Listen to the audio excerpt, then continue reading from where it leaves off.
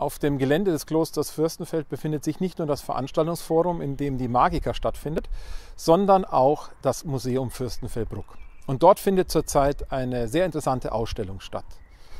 Bezaubernd Magie und Zauberkunst ist der Titel dieser Schau. Und sie sollte eigentlich parallel zur Magica und zu unserem Festival stattfinden. Corona-bedingt mussten wir beides entkoppeln, aber wir möchten euch deshalb jetzt auf diesem Wege zu einem Ausstellungsbesuch einladen. Also kommt, folgt mir ins Museum.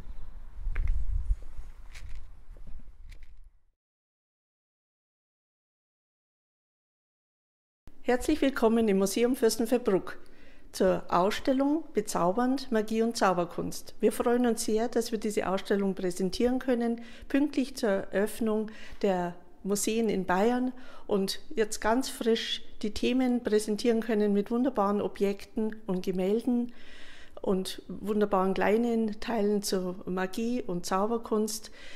Wir haben, äh, haben hier drei Bereiche, die wir Ihnen präsentieren können, nämlich die Magie, die Zauberkunst und den Okkultismus. Menschen wollen unterhalten werden. Das ist nicht nur heute so, das war immer schon so und die Zauberei ist die älteste Form der Unterhaltungskunst, die wir kennen. Das Becherspiel wurde schon im ersten nachchristlichen Jahrhundert von Seneca erwähnt, als die Mutter aller Zauberkünste gilt das Becherspiel auch heute noch. Wir haben zahlreiche Darstellungen von Gauklern und fahrendem Volk, die umherziehend auf Märkten und Straßen und Plätzen ihre Künste darboten. Wir haben hier sehr schöne Exponate über dieses Becherspiel, das auch heute noch angewendet wird. Als ganz besonderes Exponat haben wir diese, dieses Truhengemälde. Es ist ein äh, Stück aus dem 15. Jahrhundert, aus italienischer Provenienz. Da wird ein Becherspieler vorgestellt, also ein Gaukler, der auf einem Jahrmarkt sehr hochstehenden Persönlichkeiten verschiedene Zaubertricks darbietet, darunter eben auch das Becherspiel. Und als weiteres Objekt haben wir das Becherspiel aus, den, aus dem Besitz von Kalanak. Also es wird auch heute noch angewendet, man sieht es auch heute noch auf, auf den Straßen und auch in Zaubershows. Das Becherspiel ist immer noch eine faszinierende Sache. Noch im Mittelalter galt Magie als Wissenschaft. Man konnte sogar in Paris die Magier studieren. Das hat sich dann im Laufe der Zeit verändert und die Magie ist durchaus auch in Verruf geraten und man hat es eher als Charlatanerie abgetan. Es haben sich aber immer wieder Fürsprecher gefunden und so ein Fürsprecher war auch äh, Reginald Scott aus England, ein Landadliger. Reginald Scott hat damit versucht, ähm, die Hexenkunst als etwas Natürliches zu sehen und die Verfolgung der Hexen damit außer Kraft zu setzen. Sein Buch Discovery of Witchcraft gilt als die erste Auflistung aller möglichen Zauberkunststücke und wurde dann damit äh, zum, äh, zur Mutter aller Zauberbücher. In, der, in unserer Ausstellung zeigen wir auch noch andere Werke aus der Zauberbücher aus verschiedenen Jahrhunderten. Die Magia Naturalis ist ein Thema, das in vielen frühen Werken behandelt wird. Und hier haben wir sehr schöne Beispiele auch von der Hokuspokus-Literatur und Zauberbücher, die sich mit mathematischen und physikalischen Experimenten beschäftigen. Die gelehrten Theologen des 13., 14., 15. Jahrhunderts haben ein ausgeklügeltes System der Dämonologie äh, zugrunde gelegt und es erschien also im 15. Jahrhundert der Hexenhammer und die Bevölkerung hat es sehr begierig aufgenommen. Der Glauben an Hexen war in den ländlichen Gebieten bis ins weite 20. Jahrhundert ganz, ganz stark verbreitet. In der frühen Neuzeit hat man geglaubt, alles, was schief läuft, liegt an Hexen. Wenn die Milch sauer ist, hat es die Hexe äh, verzaubert. Und so gab es verschiedene Möglichkeiten, diese Hexenschadenszauber abzuwehren durch unterschiedlichste magisch aufgeladene Objekte, Steine, Totenköpfe, Kröten. Da gab es also eine Vielzahl von unterschiedlichen Möglichkeiten, Hexen und Zauberer und vor allem alles, was dämonisch ist, abzuwehren. Ein sehr schönes Exponat ist ein Hexenbannerkoffer aus dem Schwäbischen, der bis in die 50er Jahre noch in Benutzung war. Also es zogen sogenannte Hexenbanner durchs Land, die sich zur Aufgabe gemacht haben, äh, ja, dämonische Hexenkräfte zu bannen mit Pendeln, mit Steinen, mit Sicheln, alles was spitz und scharf ist, soll gegen Hexen helfen, die sie dann in den Dienst von vor allem bäuerlichen Haushalten stellten, um da ja, die magischen Dinge abzustellen, um abzustellen, dass die Kühe krank werden, die unfruchtbare Frau sollte geheilt werden. Und das ist einfach ein sehr schönes Objekt, das zeigt, dass Hexenglauben sehr, sehr lange in der Bevölkerung geglaubt wurde. Viele der Objekte, die benutzt wurden, um Hexen abzuwehren, um das Übel abzuwehren, weisen verschiedene Symbole und Formeln auf. Und das bekannteste, das auch heute noch jeder kennt, ist der Drudenfuß, das sogenannte Pentagramm, das an vielen äh, Stühlen, an Alltagsgegenständen, an Messern, äh, eben auch an Wiegen, an Brautkronen ist, um in bestimmten Lebenssituationen, also die Wiege soll vor allem das Kind vor dem äh, bösen Einfluss schützen, angebracht sind. Und da haben wir auch sehr schöne Objekte, Alltagsgegenstände, den Tegernseer Klosterstuhl, die mit Pentagrammen versehen sind, um dem Bösen den Weg zu versperren. Magische Elemente sind in allen Religionen zu finden. Und so ist natürlich auch im Christentum, äh, vor allem der, im Alten und Neuen Testament, eine Fülle von wunderbaren Begebenheiten, Begebenheiten äh, beschrieben. Und Christus und seine Jünger können magische Dinge tun. Sie gehen übers Wasser, sie vermehren äh, Brot, sie wandeln Wasser zu Wein. Jesus heilt sogar Aussätzige und Irrgläubige und er kann vor allem auch Tote erwecken. Das wurde von, den, von vielen Künstlern äh, recht eindrucksvoll gemalt äh, und porträtiert. Und wir haben hier mit Albert von Keller, mit den Christusstudien, äh, eine sehr interessante Verbindung gefunden, denn äh, Christus wird hier wirklich dargestellt als Magier. Die Handhaltung, die Pose ist einem Zauberer gleich, wobei das Christentum ganz stark betont, dass der Zauberer, der Magier aus eigenmächtigen Zauberkräften handeln kann und Jesus und seine Jünger eben vor allem die Zauberkraft von Gott beziehen. Aber diese Parallele fanden wir sehr interessant und vor allem diese äh, Darstellung Christus als Zauberer der später im 19. Jahrhundert auch als der größte Magnetiseur der Welt bezeichnet wurde, hat uns sehr fasziniert. Ein Schwerpunkt unserer Ausstellung handelt über Okkultismus und hier im Speziellen über die okkulte Kunst. Wir haben zwei Maler hier, die wir, von denen wir Gemälde zeigen, Gabriel von Max und Albert von Keller. Beide hatten an Seancen teilgenommen von Schrenk-Notzing, einem der führenden Spiritisten und der Geisterbaron äh, der, des Zeitraums um 1900 in München. Sie wurden animiert, vor allen Dingen Albert von Keller, viele dieser in Trance gefallenen Damen ähm, auch zu porträtieren. Wir sehen hier einige wunderbare Beispiele äh, der Trance-Damen, aber auch der Traumtänzerinnen, beides Bereiche, die in diesen Seancen immer wieder vorgekommen sind. Als Begründer der modernen Zauberkunst im 19. Jahrhundert galt unter anderem der französische Künstler Jean-Eugène Robert Houdin.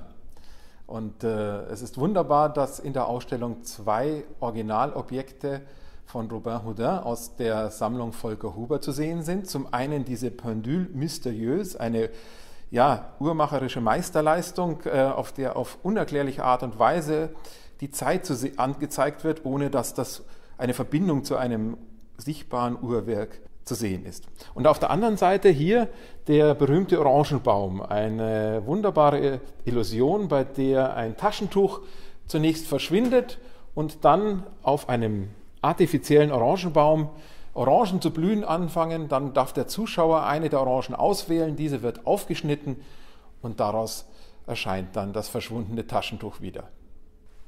Ende des 19., Anfang des 20. Jahrhunderts wurde in Bayern eine Zaubererfamilie besonders berühmt. Es waren die Schichtels.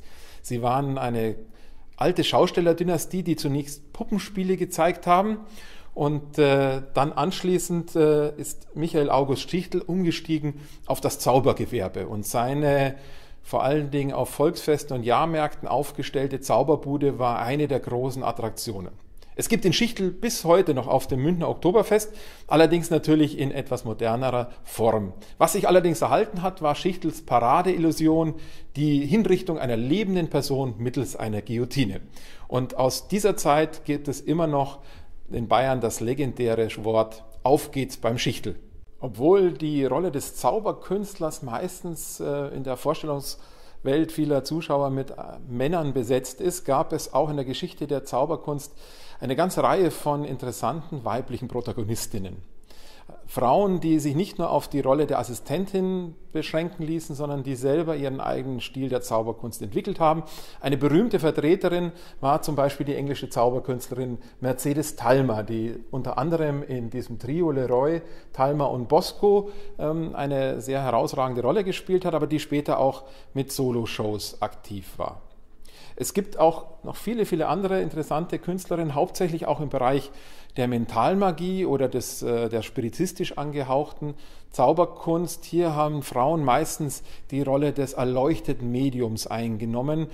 Ein Künstler, äh, an dem man in der deutschen Zaubergeschichte auf gar keinen Fall vorbeikommt, ist natürlich Helmut Schreiber Kalanak der in den 50er und 60er Jahren in Deutschland und auch in ganz Europa und äh, Südafrika, Südamerika mit seiner großen Simsalabim-Revue Furore gemacht hat.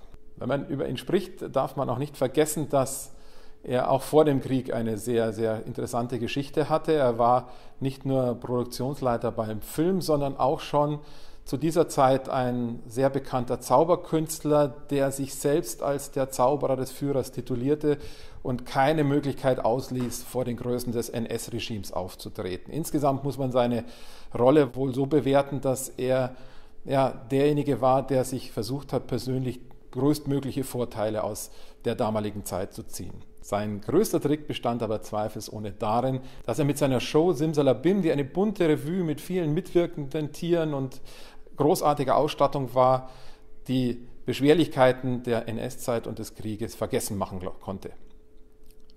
Zu seinen zwei Paradetricks zählten zum einen die magische Bar, in der es immer möglich war, aus ähm, einem einfachen Krug Wasser eine beliebige Anzahl verschiedenster Getränke auszuschenken, die sich das Publikum selber wünschen durfte. Oder auch das Verschwindenlassen eines Autos auf offener Bühne. Er hatte dazu in der Laufzeit seiner Shows verschiedene Werbeverträge mit verschiedenen Autoherstellern abgeschlossen. Und äh, als er zum Beispiel einen Ford verschwinden ließ, prägte er den Werbespruch, der Ford ist Ford. Ein kleiner Teil der Ausstellung ist auch dem Planecker Zauberkünstler und Hersteller von Zauberapparaturen Toni Lackner, der unter dem Künstlernamen Latoni bekannt wurde, gewidmet. Äh, es sind einige seiner wunderschönen Objekte zu sehen, die er gebaut hat, Requisiten, die mittlerweile bei Sammlern äh, von Zaubergeräten äh, einen relativ hohen Marktwert haben. Unter anderem auch dieser Schlangenkorb, aber auch viele kleine Tricks und Kunststücke, die sich heute noch auch in den Zauberschränken vieler Amateur- und Berufszauberkünstler finden. Zauberei im ganz großen Stil präsentierte äh, der Anfang des 20. Jahrhunderts der Zauberkünstler Alois Kassner. Zu seinem, oder sein bekanntester Trick wurde das Verschwindenlassen des Elefanten namens Toto. Und die Antwort auf äh, die Frage, wie der Elefant hieß, war übrigens auch über Jahrzehnte Teil der Aufnahmeprüfung des Magischen Zirkels von Deutschland. Hier sieht man in der Ausstellung äh, das Original Elefantengeschirr von Toto. Ähm, der Elefant ist, äh, so wie es der Trick natürlich vorsieht, bereits verschwunden. Während die Zauberkünstler heute eher Alltagsgegenstände als Requisiten bevorzugen, äh, liebten die Zauberkünstler vor 100 Jahren die große Ausstattung. Auf den Bühnen wurden viele große Geräte aufgebaut und äh, hier sehen wir zum Beispiel ein Objekt von Konradi Horster, das war einer der großen Hersteller von Zauberrequisiten Anfang des 20. Jahrhunderts. Es nennt sich die Uhrenillusion und äh, es war möglich, mit diesem Requisit, das zunächst natürlich leer gezeigt wurde, zwei Damen erscheinen zu lassen, die dann durch dieses Zifferblatt, das eigentlich aus Papier ist, hindurchsprangen. Illusionen kann man auch kaufen und seit äh, ja, Ende des 19. Jahrhunderts äh, sind Zauberkästen ein wichtiges Produkt der Spielzeugindustrie. Es gibt sie in verschiedensten Ausführungen, Größen für kleine und für große Kinder. Und im Laufe der Zeit, wenn man sich verschiedene Objekte, die wir hier in der äh, Ausstellung äh, zeigen, genauer betrachtet, haben sich die darin enthaltenen Kunststücke und Requisiten gar nicht geändert. Es sind immer wieder ähnliche oder fast gleiche Kunststücke, die man in den Zauberkästen findet, nur die Ausfertigung und die Produktion hat sich natürlich geändert. Waren es früher noch schöne gedrechselte Objekte aus Holz, äh, sind die Zauberkästen heute meistens voll mit Plastik. Aber auch damit kann man, wenn man sich ein bisschen damit beschäftigt und ein bisschen Zeit und Liebe investiert, ganz interessante kleine Vorstellungen geben. Besonders schöne Objekte stammen aus der Sammlung Vitus Witt, zum Beispiel ein Zauberkasten aus dem Jahr 1880. Übrigens hat auch der Dichterfürst Goethe, der ein großer Freund der, Zauberkünste, der Zauberkünste war, äh, seinem Neffen einen Zauberkasten geschenkt, da er der Meinung war, dass die Beschäftigung mit der Zauberkunst eine wunderbare Übung in freier Rede und Ausdruckskunst ist.